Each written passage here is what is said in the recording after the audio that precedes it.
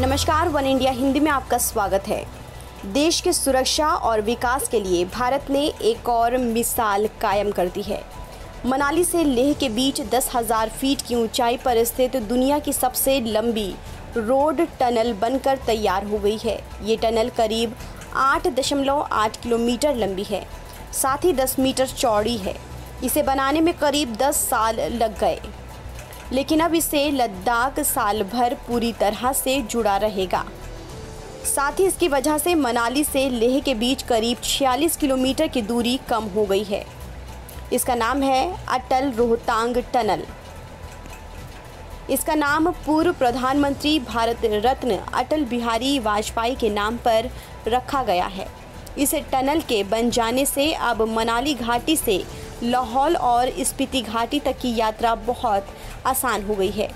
इस यात्रा में अभी तक आमतौर पर पाँच घंटे से ज़्यादा समय लगता था। अब महज दस मिनट में पूरी हो जाएगी। अटल रोहतांग, सुरंग, लेह और लद्दाख के आगे के क्षेत्रों के लिए सभी मौसम में कनेक्टिविटी प्रदान करेगी, जो देश के बाकी हिस्सों से बर्फ़ के कारण लगभग छः महीने तक कटे रहते हैं। ये सैन्य दृष्टिकोण से बेहद महत्वपूर्ण है। इसके बनने से सबसे ज़्यादा फ़ायदा लद्दाख में तैनात भारतीय फौजियों को मिलेगा।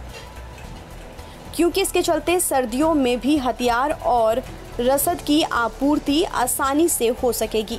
अब सिर्फ़ जौजिला पास ही नहीं, बल्कि इस मार्ग से भी फौजियों तक सामान की सप्लाई हो सकेगी। टाइम्स ऑफ़ इंडिया की खबर के मुताबिक नाली लेह रोड पर चार और टनल प्रस्तावित हैं। फ़िलहाल ये टनल बनकर पूरी हो चुकी है। ऐसा माना जा रहा है कि सितंबर के अंत में प्रधानमंत्री नरेंद्र मोदी इसका उद्घाटन करेंगे। ये टनल सिर्फ़ मनाली को लेह से नहीं जोड़ेगी, बल्कि हिमाचल प्रदेश के लाहौल स्पीति में भी यातायात को आसान कर देगी। ये कुल्लू ज़िले के मनाली से लाहौल स्पीति ज़िले को भी जोड़ेगी। इस टनल के अंदर कोई भी वाहन अधिकतम 80 किलोमीटर प्रति घंटा की रफ्तार से चल सकेगा। इसे बनाने की शुरुआत 28 जून 2010 को हुई थी। इसे बी आर ओ ने बनाया है। ये सुरंग घोड़े के नाल के आकार में बनाई गई है। इसे बनाने में बी आर ओ के इंजीनियरों और कर्मचारियों को काफ़ी मशक्क़त करनी पड़ी, क्योंकि सर्दियों में यहाँ काम करना बेहद मुश्किल हो जाता था। यहाँ पर तापमान माइनस तीस डिग्री तक चला जाता था। इस टनल को बनाने के दौरान आठ लाख क्यूबिक मीटर पत्थर और मिट्टी निकाली गई।